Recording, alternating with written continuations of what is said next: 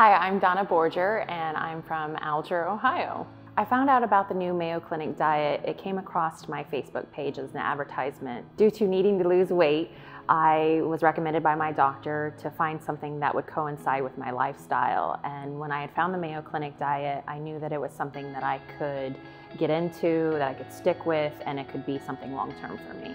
I just knew from its description that it was something for me because I wasn't into taking all the supplements that a lot of diets want you to.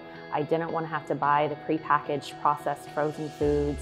Prior to starting the diet, uh, it took me six years just to lose 35 pounds because I was yo-yo dieting on all of these other diets. The Mayo Clinic diet has helped me to recenter my focus.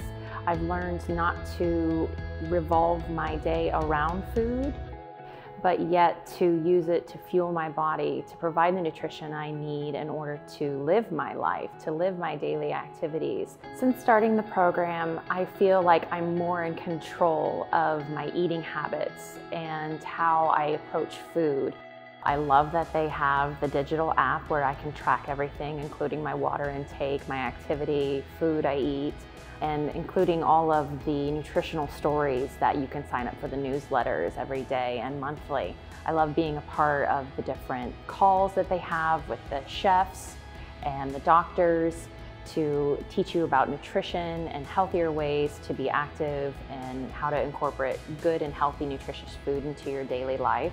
I also enjoy the fact that they have a Facebook group where there's a lot of supportive people on there. I believe if you are truly, honestly wanting to make a healthier lifestyle choice, that you need to find something that aligns with your beliefs as well and aligns with your schedule.